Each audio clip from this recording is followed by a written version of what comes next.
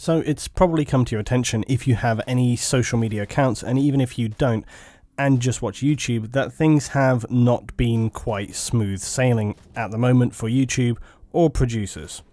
Firstly, we started off with extreme videos, extremists, making advertisers freak out. This was on the news, everybody saw this. And then YouTube freaked out at the advertisers freaking out. And now producers are freaking out that YouTube decided to go crazy and start demonetizing videos. Now you might think to yourself, what do I care if a producer earns less? I hate adverts anyway. Well, fair enough opinion, except that in the broad spectrum of people that I talk to, I find that people watch actually now less television and actually consume more online generated content. I know I do. In fact, actually, I stopped having my TV license last year when I realized I basically hadn't watched television for an entire year because I'd spent the whole time watching either YouTube or producers or streamed online content. And I would hazard a guess that is the reason why you're here and watching this content. It's why I watch other producers' content on YouTube and on Twitch, and personally, I'm more than happy for ads to run if it means that producers are supported. It's also why I sub to several producers on Twitch because I enjoy what they do. I want them to be successful so that I get to enjoy more of their content. Also, let's be straight here if content is genuinely abusive, horrific, if it breaks YouTube's standard guidelines, then fair enough, that's fine. We all signed up to those rules. The problem right now is that this is not what is happening. What's happening is YouTube for several months has been running a bot that randomly slams channels with mass blocks on monetization that have to be manually reviewed by YouTube staff.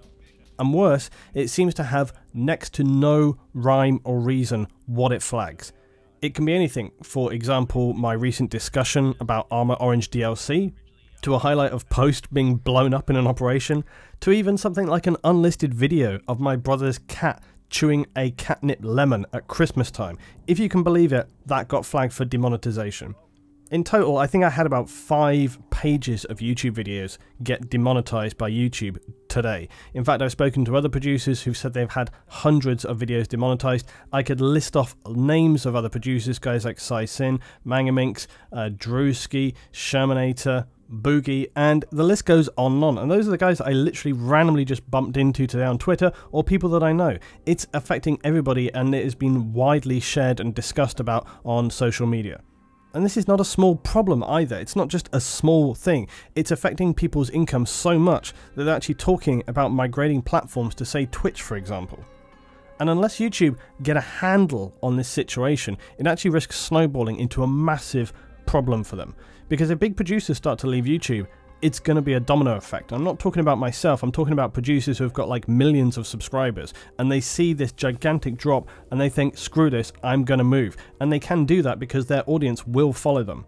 And once that audience has moved on, it's going to be a hell of a thing to get them to move back again. Because if they're in one place and it's working fine, why would they move? Now the only thing I haven't seen is how this is affecting channels in the non-gaming sphere. I haven't really looked into that or seen whether it's affecting that at all, but we're going to see. It seems unbelievable that YouTube will not address this situation. Now as you guys know this is my first year of being full time as a producer and I'm pleased to say things have been going very well so far and I hope this is going to be nothing more than a storm which has to be weathered. When you're working for yourself, when you're working self-employed, sometimes you're going to have things drop off and come back and you know things go up and down. That's what happens and you know maybe that's what this is going to be.